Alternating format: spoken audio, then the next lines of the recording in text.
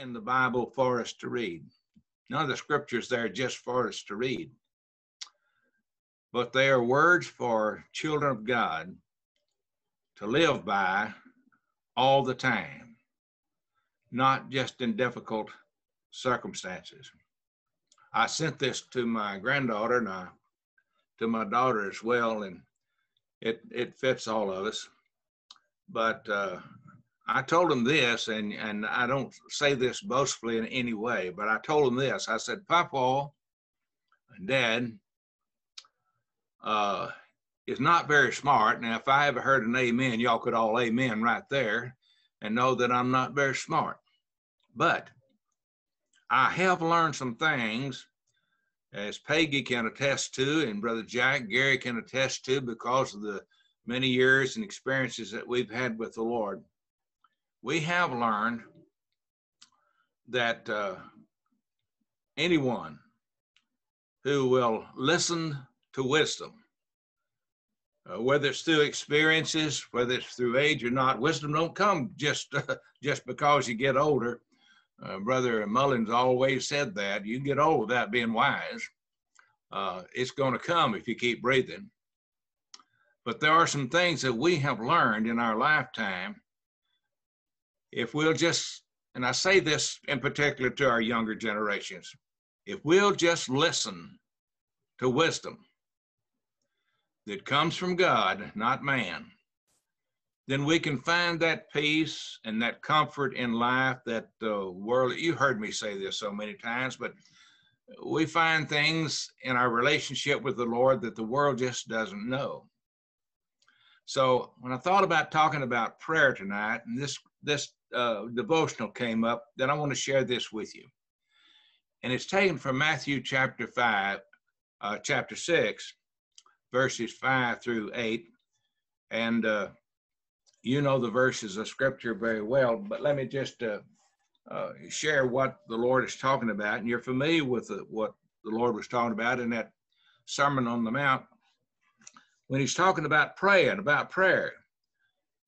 The thing he said, he says, when you pray, don't pray like the hypocrites. When you pray, don't pretend piety by praying publicly on street corners. When you're praying, you're not praying to be heard of man but to talk to God. And that's what prayer is. It's simply talking with God. With regard to consistency or how to approach Him, sometimes we struggle in prayer. Do you ever st- struggle in prayer? Probably so. You know, when I set aside time and to just to talk with the Lord and, and to share with Him my heart, he already knows my heart. He already knows what's in my heart and what I'm going to ask for or what I'm going to share with him. But uh, sometimes in talking to the Lord, uh, things start coming into my mind. You know, the devil wants to interrupt. Anytime that you're going to have a conversation with God, are you going to have sit down and have a Bible study to talk to the Lord and, and to share his word? And remember, when you're reading the Bible, that's that's God speaking to you, and you need to listen.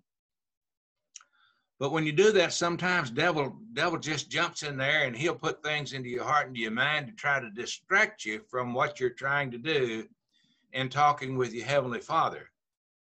So sometimes you find yourself struggling in prayer. But especially if we're trying to pray like we want men to hear what we're saying. Uh, there's a right way to pray, and there's a wrong way, and so he addresses this in this in this particular text. Uh, if man prays just to be heard of man, then that's all the reward he's going to get. Oh, look at me, I'm praying, and and I'm a I'm a religious creature because I'm talking to God.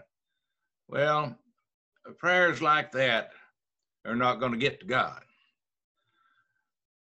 And that's what he addresses in this particular devotional today. there's a right way to pray. It's not like how people felt when they was watching the Pharisees. Uh, they corrupted that privilege, that priceless privilege that they had and that we have in talking to our Heavenly Father. Just, just to think that we have the privilege, the opportunity to talk to God, who is our Heavenly Father. That, as he says in this uh, particular devotional, this is something that should humble us. So when we pray, there's four things that he mentions here. Number one is sincerity. Be sincere in your prayers.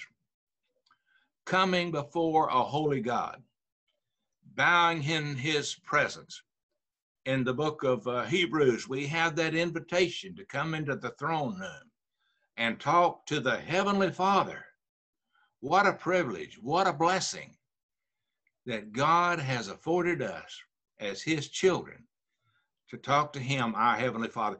I always enjoyed, sometimes I didn't enjoy, sometimes I endured talks with my earthly father because sometimes he had a lot of correction uh, to share with me and sometimes pretty stern. I did find out that whenever he spoke, I better listen because he didn't want to have to repeat it.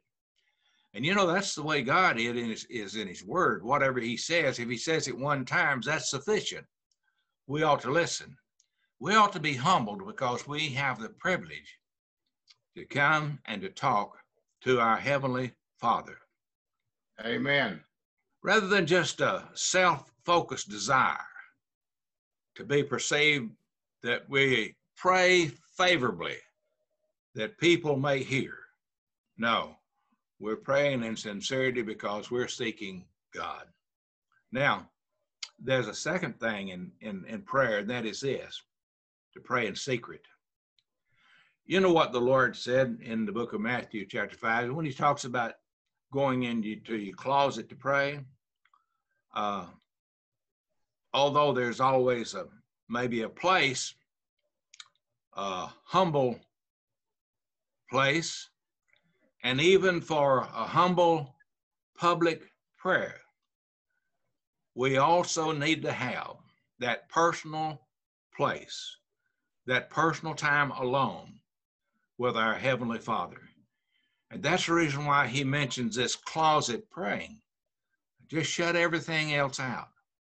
I remember Dr. Charles Stanley talking about uh, even going into his own closet when he just really want to get sincere with God. Just go in a closet and shut the door and sit down, and you can't see anybody, you can't hear anybody. All you, it's just you and God. And folks, what a blessed privilege that is, just to be able to be in a closet, just to be in a sacred place, separate place, personal place, that we can daily have time alone with our Heavenly Father. And then the third thing that he mentions, and all these start with an S. Uh, I don't know if that has any significance or not, but to pray sincerely and to pray a simple prayer in secret. Is the next one is to pray a simple prayer.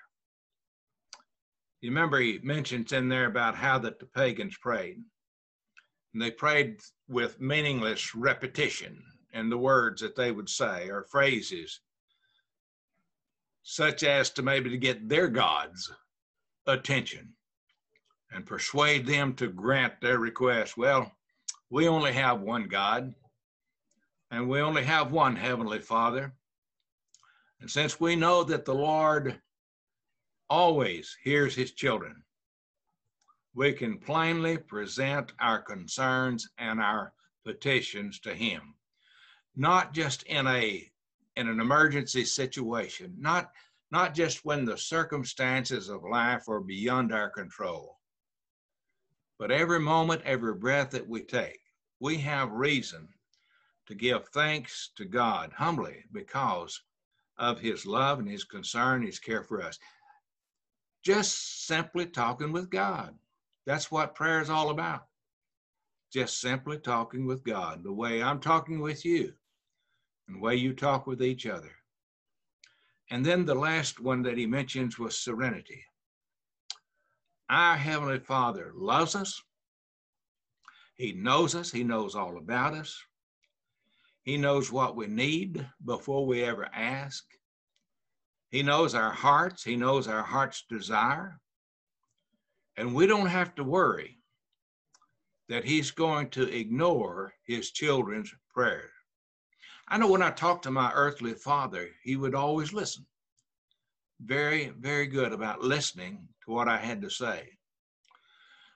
What I had to say might not always been very smart. Of course, you know, things hadn't changed. I was still not very smart, but he listened.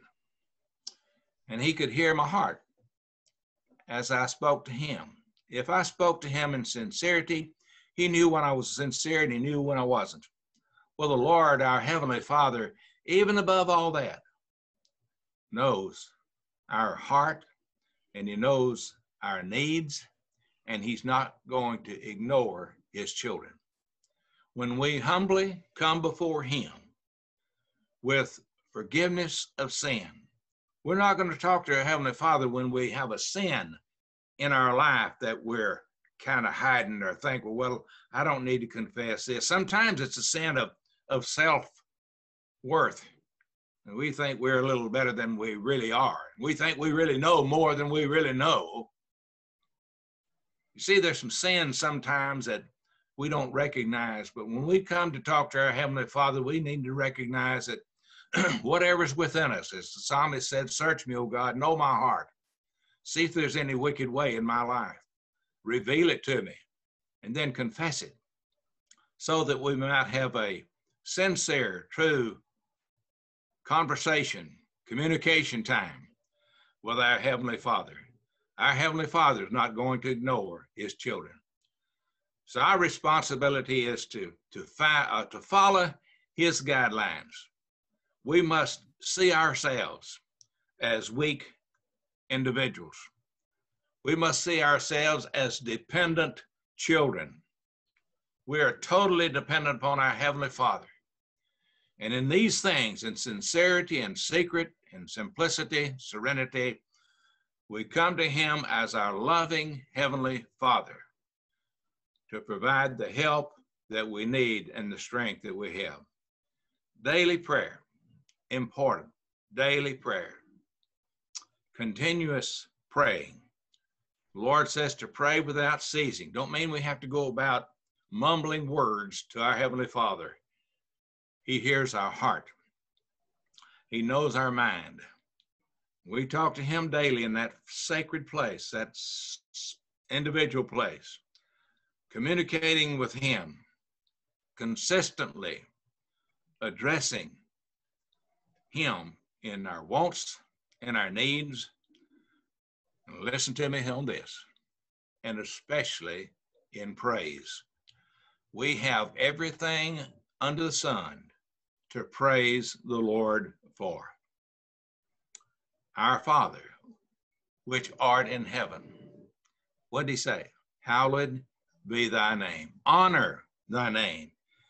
We're honoring God when we have a daily place that we share with him, when we communicate with him.